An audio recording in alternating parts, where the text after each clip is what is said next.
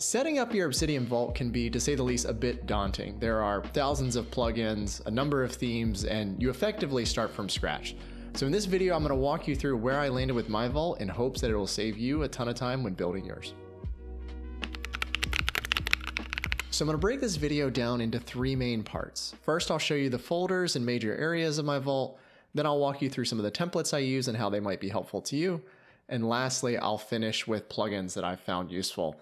And I'll have timestamps over here if you want to jump around to one particular part if it's more interesting to you. Before we jump into all of the folders in my vault, I want to start by mentioning that I publish my vault through GitHub Pages, and that will likely explain why I have so many folders in here. In general, the Obsidian community is pushing for having a very flat structure within your vaults, and, and I agree with that. I have a handful more folders than most because I do publish this vault online through GitHub Pages, and I use the folders as an easy way to indicate whether a group of files should be public or not. So the first folder I want to show you is my one-on-ones folder. And this largely stems out of the fact that I find Obsidian a great writing experience. So I could write the, these somewhere else. They're not really part of my vault, but for convenience sake, I do put them in here. Um, I've garbled the text since it's private in nature, but I'll, I'll still give you an idea of what I put in here. So I name these based on who the person I'm having the one-on-one with, and then the title is just shared, and then I will put a little bullet for each date, and that links it in my graph, and then I'll just have a uh, to-do item um, for each thing I want to discuss, and as I discuss it, I will close that out. So I keep a note for each person that I have one-on-ones with in that folder. So if you're curious how I'm making it Greek all the words, that's a plugin called Garble that I'll show you later on in the video. The next up is my business folder, and this just has a assortment of notes that I want to keep and link to, um, but I don't really want to share with the world. Um, if I wasn't keeping a public vault, then these would just be out on the root of the vault. So you probably don't need that unless you're planning on um, doing this publicly. Um, similarly, I have my collections folder, and this just has a collection of things that I thought were interesting, um, specifically good onboarding emails, great landing pages, things that I find particularly interesting from a design aesthetic perspective, and then just cool user experience examples. Um, I don't think that Obsidian's the best place for these, but I haven't found a better place. Um, I've tried using TickTick, and that just doesn't feel right. This feels slightly more right, but still isn't great. So if I were to open up one of these, um, let's let's do the good onboarding emails, for example. Um, I tried Reflect for a bit, and uh, Alex MacCaw does a great job with his onboarding emails to keep people on track. And so I thought that was really interesting as a flow. And so I keep these in case I ever need to run a campaign like this, and I can use these as inspiration. So next up is cooking, and I'll be the first to admit that my wife does majority of the cooking in our home.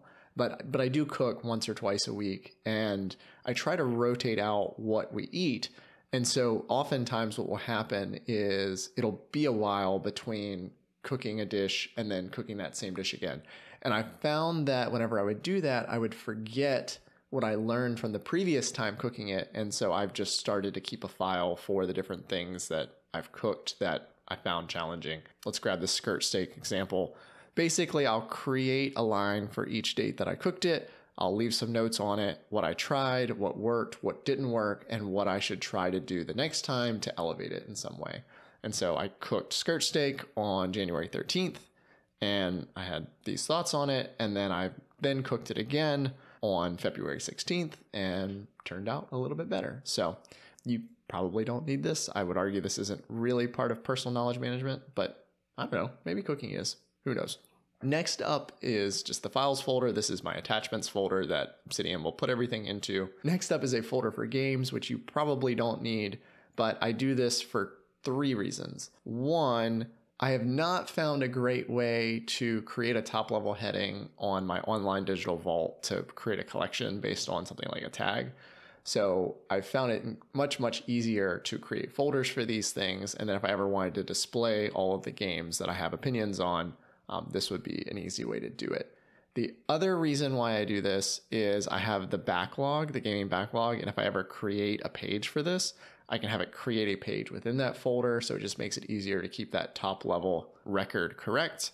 And then also, if I ever create a file inside of this folder, I'm using the templater feature that allows you to apply a template to any new file within a folder. And so this just makes it easy to get that template applied. But aside from that, folder's completely unnecessary. And if you'd prefer to have a flat structure, you could. Next up is ideas. And these are just random ideas that I've had that I'm not really ready to share with the world. This folder is private. And eventually, if I feel really good about something and I'm ready to share it with the world, I'll move it out of ideas and into the root of the vault, which will make it public. And so here, let's just grab one of these. Um, so this was an idea I had um, in trying to push people to trade five minutes of social media time each day to either focus, reflect, or learn something new. And I haven't done anything material with it yet. I was thinking maybe there would be an iOS widget or something like that that could push for that. Um, but it's still in my sort of backlog of ideas, if you will. My next folder is my folder for MOCs. And this is an emerging area for me. I haven't been a huge adopter of MOCs, but I've slowly started to build these up. I reference these in my index, which is the root page when you go to my online vault, and a lot of these are MOCs. So design is MOC is a MOC, analog versus digital tools is a MOC, um, digital workflow is a MOC. And so here, let's just open up one of those. And so here, um, I have a template that just applies type MOC and puts it into review. And then I try to reference all the key areas in there as a jumping off point within that uh, idea.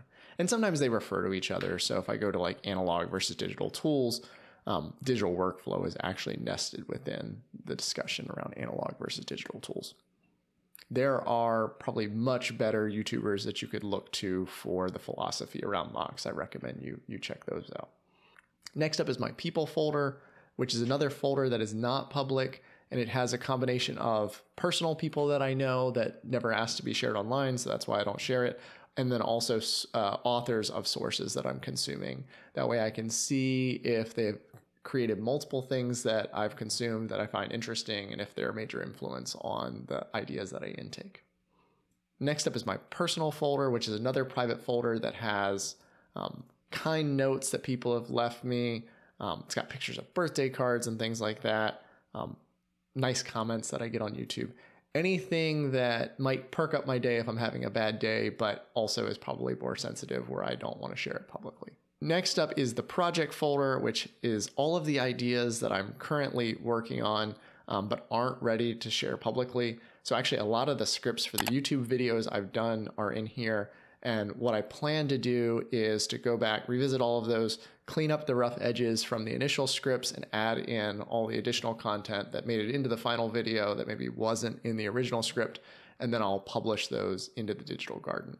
So this projects folder is kind of a holding tank. And then if there's something meaningful that comes out of it, then I'll move it to the root. Or if it's kind of throwaway at that point, I could throw it away and, and no longer need it again, this video is actually in there. So how I use Obsidian, these are my notes for this video. And eventually I plan to post this script um, online on the digital vault with the companion video attached within it. The next folder I'll show you is the seedlings folder, but I'll, I'll show it to you briefly, but it probably makes more sense to show you my seedlings inbox. So I'm gonna go down here and I, I've got a bunch of different files here that have an underscore, and I'm using that just to make those show at the top of the list so that they're always in view because they're the things I use constantly. So let's go into the seedling inbox and I'll show you what's in there. And so this is a Kanban board of a process I'm trying to instill for handling seedlings. So they'll come in as new, and then at a certain point I'll review them, and then hopefully they'll make their way into a MOC of some kind, um, at which case they'll be done. Um, obviously I'd like to um, evolve them along the way, but right now seedlings kind of exist and then they don't really mature, and so I'm trying to evolve that. Let's open up one of these. So your phone is the constant enemy to achieving your goals. This is a, an idea that I've been working through. And so I've linked in here doom scrolling and the hour before work is the golden hour for productivity. That's an allusion to photography. And then um, there's a two hour window in each day where you're most productive. And so those are some themes relating to that that I want to mature over time and I can push those forward. So this is how I do most of my seedlings. And then you can see the raw list here in the seedling inbox and I'll push those across. Next up after seedlings is my sources. And this is my uh, literary notes and highlights from Readwise. So I've got those set up to come in here.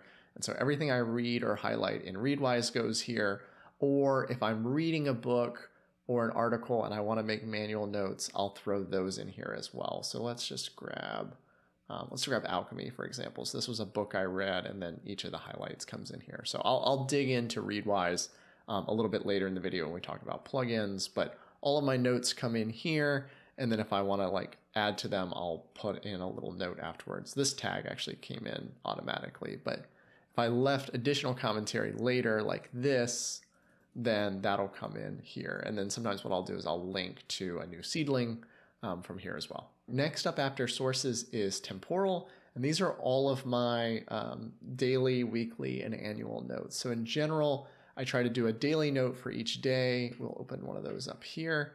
And I start with what I'm grateful for, um, a daily highlight for today to focus my energy on and to reflect to see if I actually achieve that.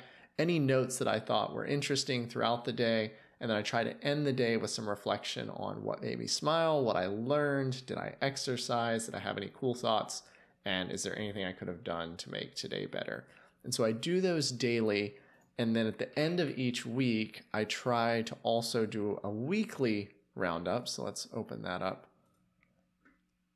And here, what I'll do is at the start of each week, I will set some goals for the week. And then at the end of the week, I will review that progress to see how I did. So in this case, I had uh, five goals. I completed three of them and I didn't complete two of them. And I keep this in here um, for reflection. I then catalog all the accomplishments from the week, the highs, the lows, anything I learned, and things I'd like to improve in the following week. For my annual notes, I go back through all of those weekly notes from throughout the year and I try to catalog the interesting experiences, places, accomplishments, things, game changers, and learnings. So let's dig into those. So, um, experiences were cool things that happened throughout the year, places were places that I visited throughout the year, accomplishments were things that I was proud of, so things are cool gear that I amassed throughout the year that made a big difference. And then game changers are software, techniques, mindsets that, that have made a huge difference. And then learnings are key themes the, throughout the year that also were helpful. And then lastly, the to publish folder is a folder of things that I think would be useful to the public, but I haven't yet curated or cleansed of um, private information. And so it's kind of a to do list, if you will, for things that I should bring to the public vault. I touched briefly on the seedling inbox, but I also have a number of other sort of underscore led files that are, are of significance. So I've recently moved my book backlog out of Goodreads. Um, it's still in Goodreads, but I find Goodreads to be a weird experience when trying to figure out which book to read next or what is on deck. And so I've since moved that into Obsidian just so that I can keep tabs on it. It also makes for a good experience when writing literary notes relative to the book. It also reminds me to actually like review the book and finish it instead of completing reading it and then stopping there. Try to push me to do that last step of um, curating my thoughts and feelings about the book. Next up is my content calendar.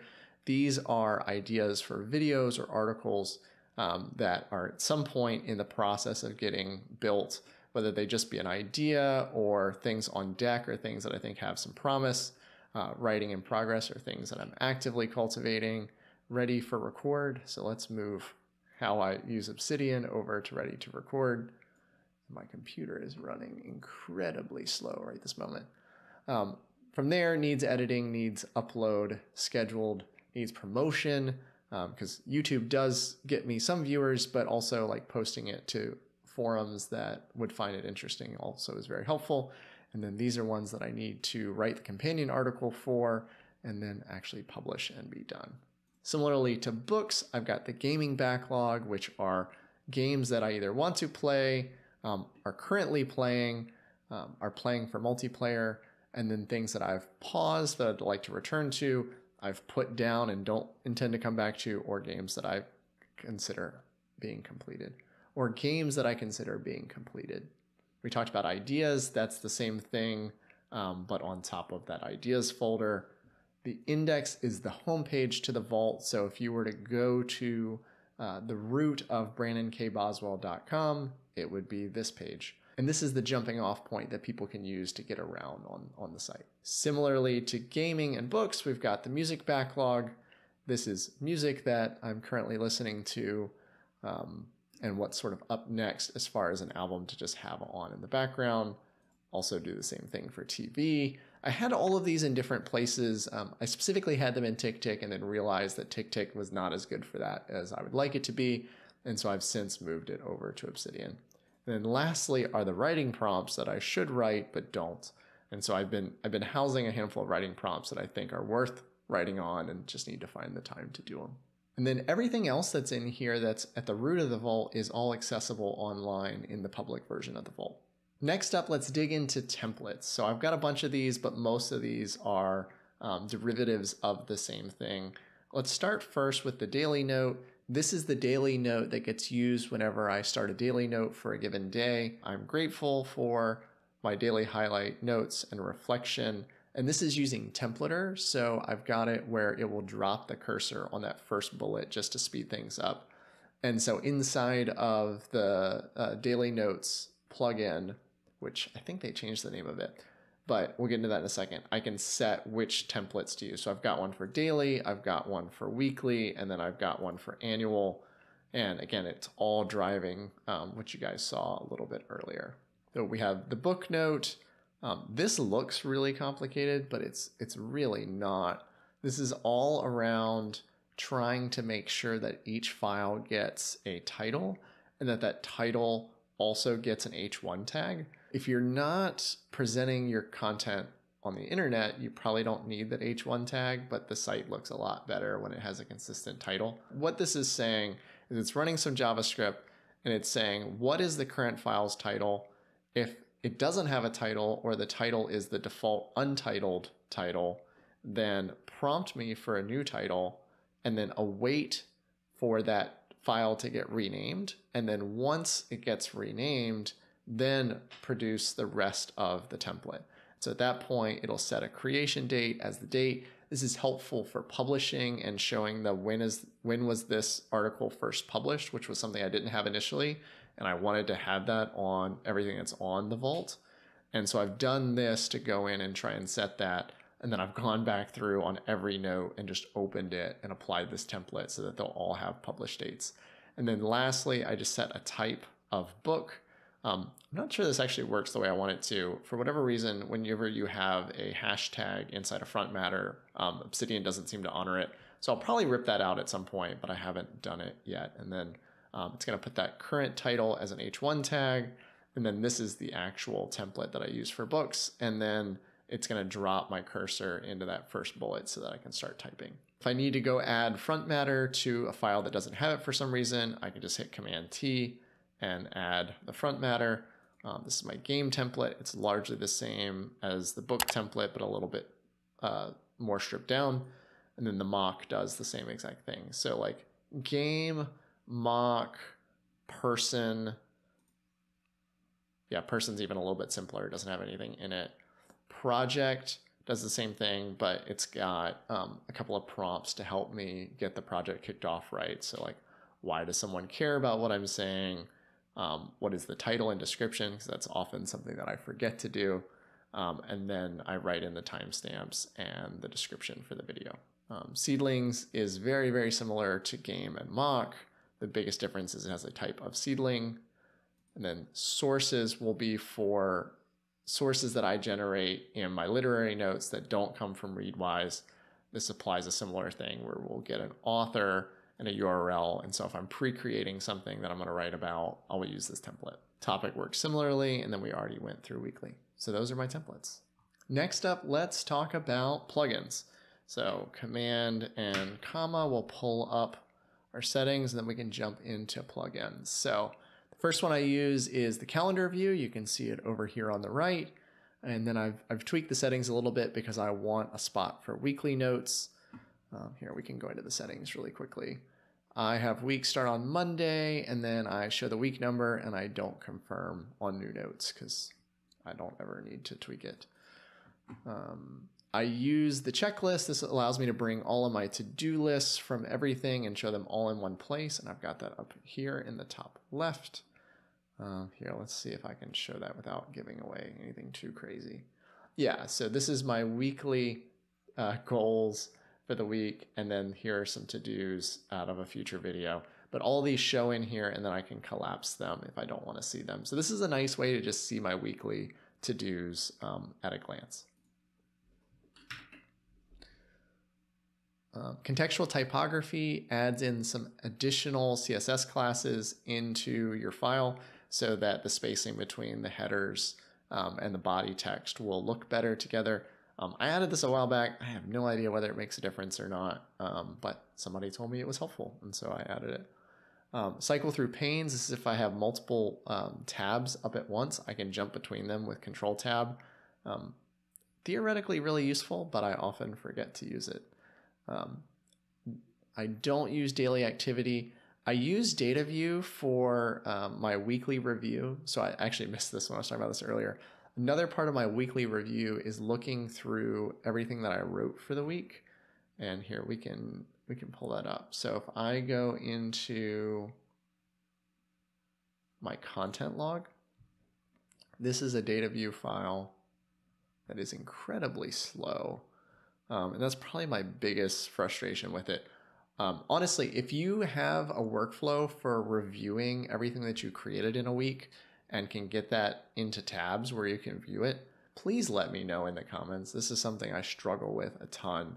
Um, this works, but it's incredibly slow and brings my system to a crawl. It makes my weekly review of content um, frustrating. So what this is, and I'll, I'll put this into edit mode in a second so that you can see it, but it basically brings up all the files by creation date and with month, day, year. And then what I do is for the given week. So I just did week number nine. And so what I would do here is I'd look at all the content created between the 21st and the 27th. And I basically load all these pages up, up as tabs. And then I go through and I pull out anything that was meaningful and put it into my weekly note or I'll explore the content a little bit further to add in some additional thoughts that I have after being a few days removed from it.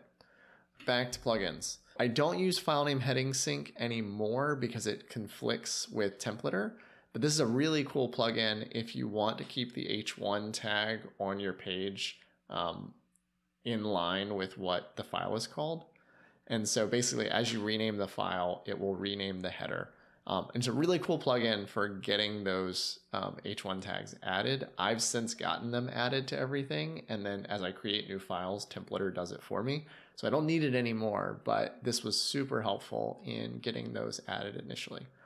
I then have focus mode. This allows me to hit Control Alt Command and press enter to toggle everything away. So here, let me show you that. Focus mode, press it again to unfocus mode. Pretty useful. I showed garble text a little bit earlier, but basically you can go in here and then you just hit Command Shift P and hit garble and it will Greek everything so that people won't see your private content. Hider lets you turn off certain aspects of the UI that you don't want. So I have everything turned off that you can turn off because I'm trying to create a great writing experience. I don't need all these bells and whistles in a lot of cases. And so the biggest thing I'm trying to do is remove distractions so that I can focus on creating good content. Um, Kanban, which I talked about at length. Um, I don't think I have anything too crazy as far as settings in here. I think everything is running default. But really cool plugin. I was skeptical of using it at first because I have really good Kanban tools and something like TickTick, but um, it's very, very handy when um, trying to do more long form content. So I also use LanguageTool, which is basically Grammarly.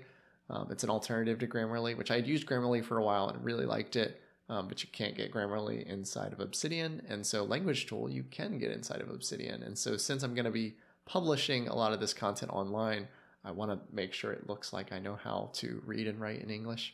Um, I think I do, but some days it's better than others. Um, metadata extractor is used by um, Alfred, which I'm not using that workflow anymore. So metadata extractor and um, advanced URI, which I had at the top, I have used, but those workflows just never stuck. So I really don't need them running anymore. So I use the minimal theme. I've also tried California Coast and Notational, and they're both really great. Um, I would recommend them as well, but minimal is the one that happened to stick for me. Um, and I really like it. So you can tweak some of the settings in here if you really want to. Um, I don't think I've got anything too crazy in here. Um, just match the whether the system's in light mode, dark mode, and custom icons, and that's really it.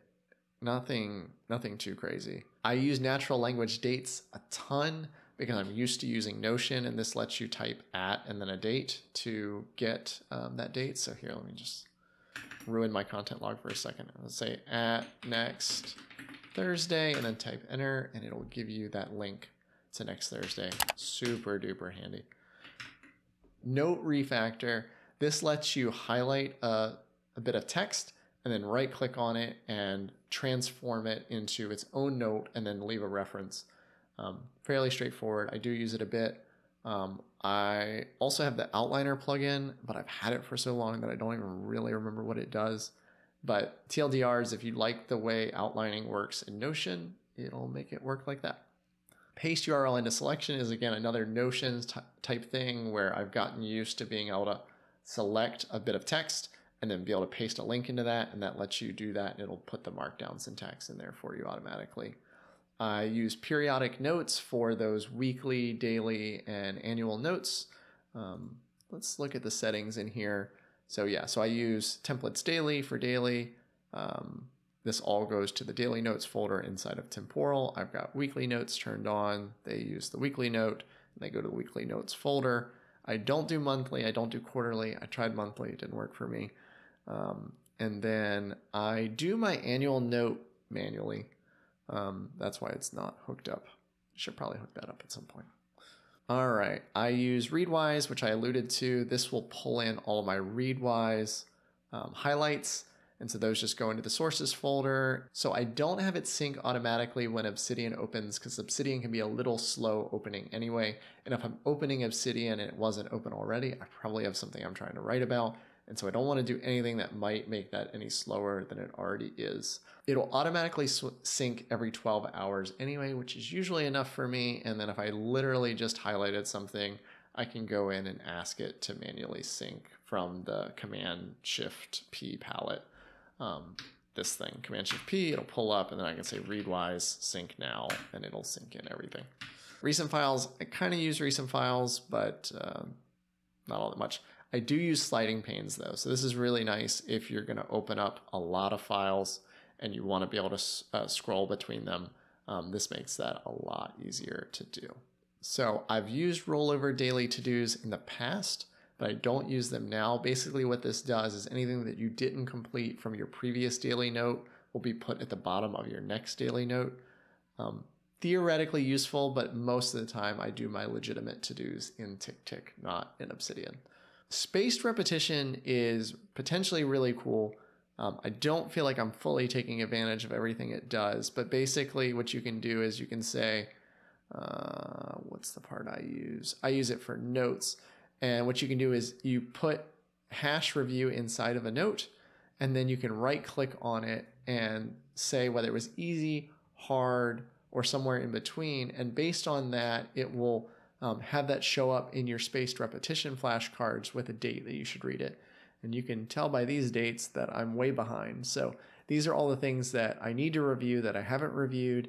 And then these are the things that I thought were hard. So they're gonna have they're gonna come up more frequently.